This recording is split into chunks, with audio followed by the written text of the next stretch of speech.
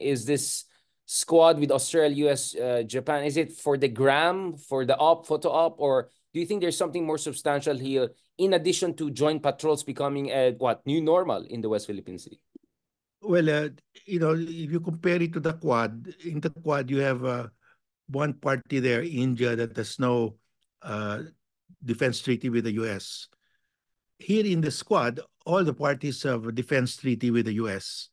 And uh, so this is more, uh, this is actually the the more uh, substantive uh, uh, grouping uh, as far as the South China Sea is concerned. But if you look at the larger Indo-Pacific, well, you really need India with you if you if you want to cover the entire Indo-Pacific. Yeah, my understanding with India is that of course there's a lot of tension and disappointment with them. I mean, the Indians are very clear. This is all about their own great power moment, right? And I remember mm-hmm. when I I I said I asked some Munich Security Conference, the Quad panel there, uh, is this the Asian NATO? Obviously, it's not. But you know, just to provoke discussion, si Jaishankar, their their very outspoken foreign minister. In fairness, dapat ganun sana si Harry Roque, yung parang Jaishankar type ni Modi. He went out and said, "No, we are here just you know, essentially saying alliance of convenience. Ito. This is not mm-hmm. a treaty alliance." We work where it serves us. Mm-hmm. And alam natin, India, Russia, bromance, beshi. Mm. Uh, China, ingat sila kasi may border disputes din sila and they don't want to get into fight with China mm. anytime soon kasi may mga concerns din sila. So, the Philippines, although mas maliit sa India and all of that, it looks like a much more aligned country. Hindi lang treaty ally, pero in terms of values, orientation, China position, right? So this looks like a more swak quad for dealing with China. Because I know naturally people say, what about South Korea? Eh di, I'll say, what about North Korea, right? Ang laki ng problema ng South Korea sa North Korea. Ipit sila dun eh. At least the Philippines, kahit mas mahina tayo sa India and Korea, military-wise, we can be very helpful. And speaking of which, how do you read these balikatan exercises? We had an exercise in Cagayan where we essentially simulated China taking over Batanes or Mavulis mm-hmm. or something like that and taking it back. I mean, clearly the Philippines is leveraging its geography, right? And we're really preparing for a Taiwan contingency.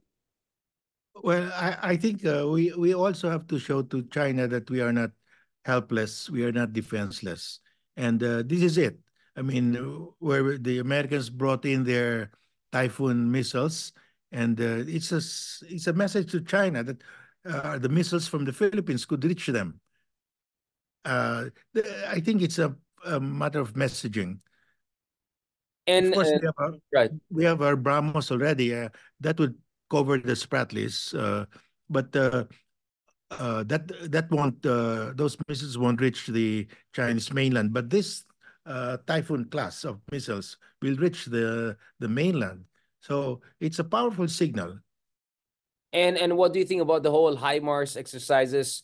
Sea stars, sinking a ship. I mean, there were also exercises in South China. And for the first time, nagkaroon ng drills outside the 12 nautical miles territorial sea natin. And also France joining in. And the French are about to start their negotiations over a reciprocal access agreement.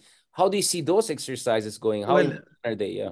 I'm I'm I'm very in favor of them because once uh, they, they conduct naval drills in our exclusive economic zone in the West Philippine Sea, they're actually telling China that under the arbitral award, this is the exclusive economic zone of the Philippines, and there is freedom of navigation, including naval drills. And that's exactly what we're doing. So in fact, they are enforcing the arbitral award. It's, for me, it's the most tangible enforcement of the arbitral award because you're using warships to say that this is the exclusive economic zone of the Philippines per the arbitral award. So that, and uh, that there's no nine dash line. Yeah, and that nine dash line is nonsense that we don't follow yes. that. Kasi nasa loob ng nine dash line yung exercises eh. And walang pakialam yeah. France, go pa rin. Yeah, that, that, that's exactly the, the message being sent that your nine dash line doesn't exist. And you think, uh, Justice, we should do this every year na? More regular? Yes, we uh, should. We oh, should. ito na dapat talaga. It, it should be done so that it becomes routine and it will sink into the minds of everybody that that is really the exclusive economic zone of the Philippines because they keep on invoking the arbitral award and that's to our benefit. And and last point, uh, uh, Justice, on this. Um, first of all, what is your read of the Marcos administration foreign policy so far along these lines? are we doing what would have had happened had anyone aside from Duterte won 2016? In a sense that kung si Grace po yung president or Maro has, hmm, binay, debate natin yan. Um, parang ito yung gagawin nila, di ba? I mean, what we're seeing yes, now in 2024 should have been what happened in 2017, right? That's correct. This is really the logical uh, move because once you have the arbitral award, then you should press uh, your advantage already ask the allied countries to join you in joint patrols because that's the most robust enforcement of the arbitral award. And uh, China couldn't do anything. China is totally helpless when the naval powers of the world conduct naval drills in area where they claim it is their national territory. Remember, everything within the 10 dash line, China says it's their national territory. So can you just imagine uh, U.S. and European warships and we ourselves conducting naval drills in what China considers to be their national territory. It's a really a big uh, slap on their face, and they couldn't do anything. And you think if if we have this RAA reciprocal access agreement with the French, with the Japanese, baka we're looking at regular joint drills, hindi lang patrols in the 200 nautical miles. Yeah, we need those. We have to really to strengthen our alliances because that's all we've got right now. As we build up our a credible self-defense force, we must rely on alliances. Even when we have the credible self-defense force, we must still strengthen our alliances because you're facing a, a huge country, and a nuclear armed country with the largest navy in the world, largest uh, coast guard in the world, largest submarine force in the world. So how do you fight a, a country like that? You just have to get allies. Uh, Justice, so we're about to end this episode, but I, will have one question also about uh, something more inspirational. But what do you think Marcos should do in the coming years? What should be the next logical step? So you said what he's doing right now is what any logical president not named Duterte would have done anyway. So there's nothing genius about what Marcos is doing. Let's be absolutely clear, because I think some people are going gaga. Oh, Marcos Jr. is such a genius. No, it's not. He's just doing what's any self-respecting Filipino leader should have done. Tama naman si BBM dun sa speech niya sa Australia, di ba? Sabi niya, yeah. what I'm doing is not my preference, it's what my people want. More like what any people, any self-respecting people want. But what should be done eh, looking forward in the next well, few the, years? The, the, the most critical thing that we should do is to get the gas in Reed Bank. That is really the most critical thing because we, we our economy will be devastated if we have to import LNG. It will be very expensive uh, foreign locators here will transfer because they cannot compete. Uh, so that is really the uh, the crux of the matter. All of this, uh, uh, all of these uh, dangerous maneuvers, it's really pointing to Reed Bank. Can we get the gas in Reed Bank? If we can, then it doesn't matter if China doesn't recognize our EEZ because at bottom, the bottom line is the the country that gets the gas wins because that's that's uh, the wealth of the exclusive economic zone. So we have to get the gas, otherwise we're in in big deep trouble. Yeah, I just have a question because I was talking to Jay also about this. Um, CNOOC of China was supposed to be involved in uh some uh, joint exploration uh, service contract. Yes. Service. Yes. So sino companies involved? There's a there's an Australian British one, right? Uh, there's no, the, so anong well, sino mga involved dyan sa Reed Bank? Well, uh, the MOU that was signed by Duterte uh, says uh, that uh, the Chinese will participate through the service contract system of the government. We have issued a service contract to Reed Bank, uh, Service Contract 72, in favor of Forum Energy. So CNOOC will enter into a contract with Forum Energy it will be uh, CNOOC that will be the subcontractor of uh, Forum Energy to get the gas. And that was supposed to be the template for the entire South China Sea. Uh, China will get maybe 30% or 40% of, the of revenue everybody's. Yeah, yeah, yeah. For, for doing the hard work of getting the gas, spending money for getting the gas, they get 40% of the profit. And that will apply uh, South China Sea wide. Imagine if China will get 40% of all the oil and gas in the South China Sea. That's a win -win big win for them. Win-win yan. I mean, that's the win-win. That's a win-win. That's the win-win. But at the last minute, China said you remove that provision in the service contract which says that the oil and gas belongs to the Philippines. Remove that provision that Philippine law will govern. And because of those two demands, uh, uh, we just said, oh, sorry, we cannot violate yeah. our constitution. They were too greedy. They were too greedy. They yeah, wanted they too much. Too, too, much. Yeah, too much. Yeah. Kasalanan nila yan. So that means they have bad diplomacy. They don't know how to take the win, as Biden would put it. Take the win, right? Take the win. Wag mong pilitin. Don't make it worse, right? And that's what they did. Bin binakaw nila. But going back to what we said, paano mo naman sisisiin ng China eh kung yung presidente natin was acting like a governor of their province? Right? If you have such a sabog president and sa tingin mo mananalo naman si BBM, ang tingin naman nila kay BBM is not too different from Digong. Back then, I cannot blame China. yeah, well, they thought that they they could buy off our our leaders. I mean, that's their modus operandi. But uh, for BBM, I mean, uh, he will become very unpopular if uh, we cannot get the gas in Reed while Malaysia is able to get their gas, Indonesia is able to get their gas, and we have to import very expensive LNG. We'll have high inflation, uh, we will have un high unemployment, and uh, the you know prices will go up. It's it it will be terrible. Yeah, I mean, again, let me disagree with you vehemently, Justice. I think China is correct to think that they can buy politicians. The question is, can they keep those politicians once they bought them? I think that's what, yun na hindi nila nakita. Parang akala nila, ito na yan. Yung pala, ay, hindi, medyo mahirap to. Mahirap. Something, maintenance ang wala sila, no? Um, again, di umanoy. We're, we're not saying anything para malapit na ma-expel yung ambassador nila. Tuloy-tuloy ito. Um, just a question. Wala pang update kay Sir Kibuloy. Every week gawin natin yan. Wala pang update. Anong marites sa Davao? Justice Carvio. Wala pa rin Kibuloy. Well, uh, it looks like uh, he's still in hiding.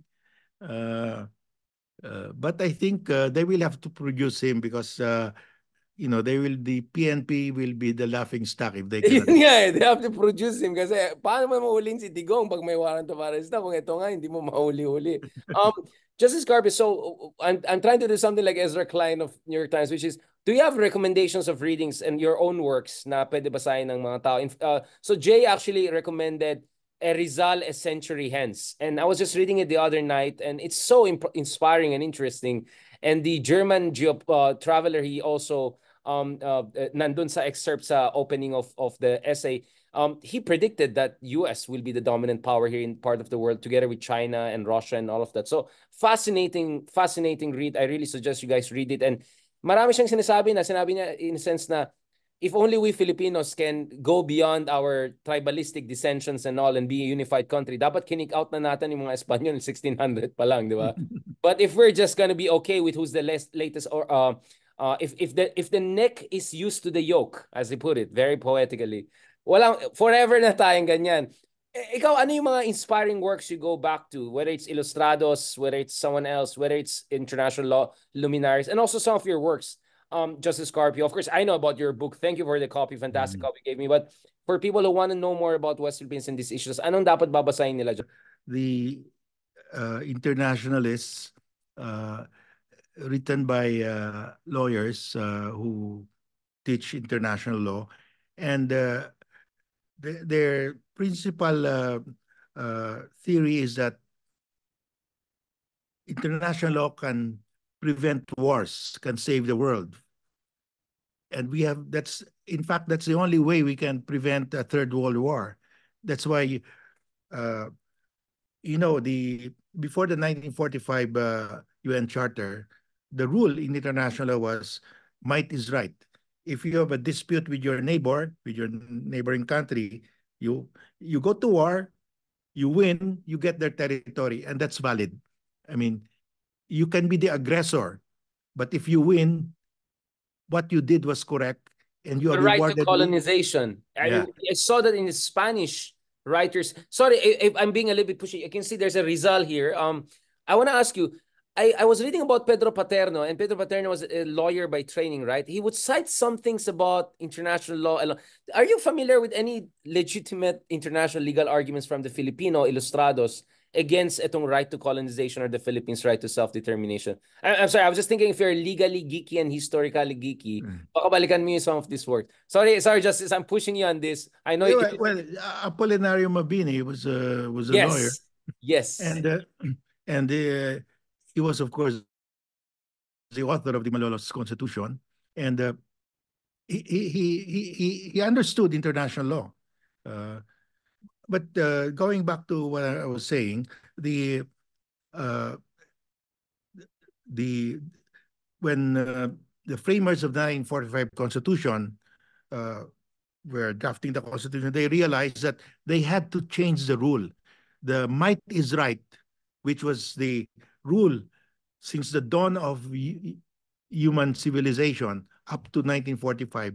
They said if we continue with this rule, might is right, the world will end because we already have the nuclear bomb. With the nuclear bomb, you cannot afford a rule where might is right. If you have a territorial dispute, you go to war. Whoever wins uh, is awarded the territory.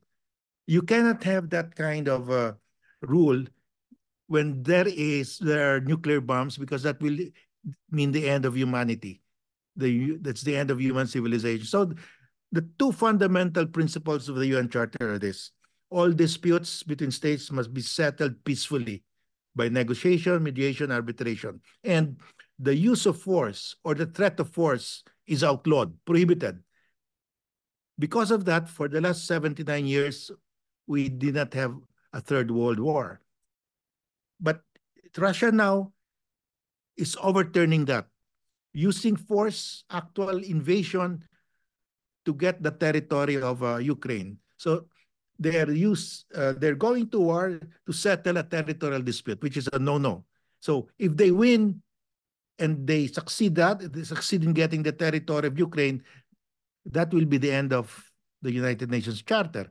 And in the in Asia, China is using threat of force to grab the territory and maritime zones of its neighbors.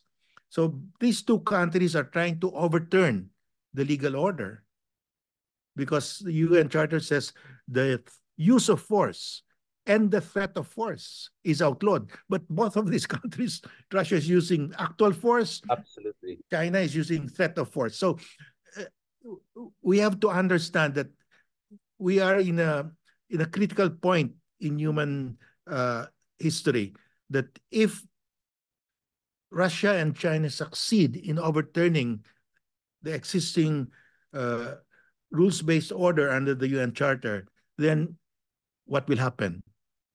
That's a very good point. Is this the book uh, by uh, Oona Hathaway and Shapiro?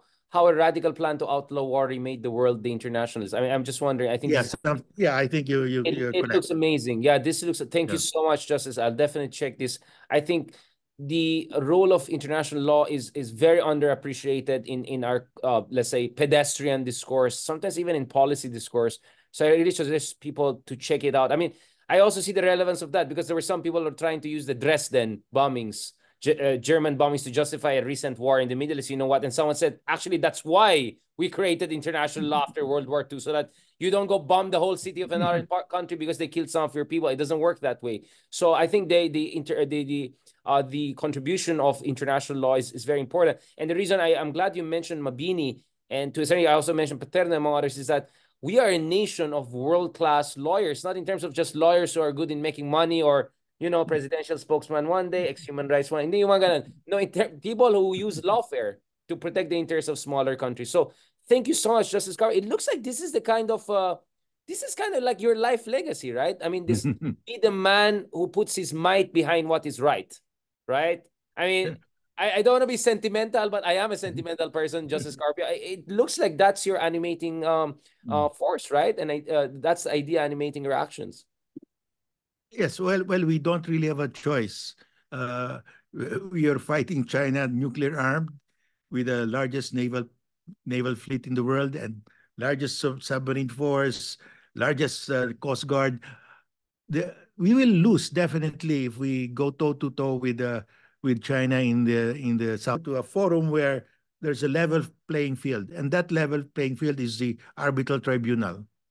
Yeah, I mean, thank you for mentioning that. I mean, Quiboloy na nga lang, hindi natin mahuli-huli yung China pa. But, but thank you, Justice. I, I was hoping to end on a more hopeful note, but nevertheless, I am very stoic like you. I'm, I'm like, do what is right regardless of the results. So we have to fight the good fight. Bear and forbear. Thank you so much, Justice Carpio. Mabuhay ka. And, and I'm sorry if I'm, I'm, I'm going back to you every weekend. So, but but I'm not sorry because I think your your views are very important and I need the Marites on Quiboloy and Davao every other week. So hopefully we can have you back soon and hopefully even more, Pakulo, to discuss. Of course, anytime. I'll be happy, uh, Richard. My pleasure. And I think our, our supporters, and I mean, ang daming mga comments here, ang daming natutuwa, natatawa at the same time dun sa discussions natin. Justice Carpio, mabuhay ka. Have a lovely weekend and a blessed Sabbath day. Uh, on Sunday, okay. of course. God bless. Thank you. Good day.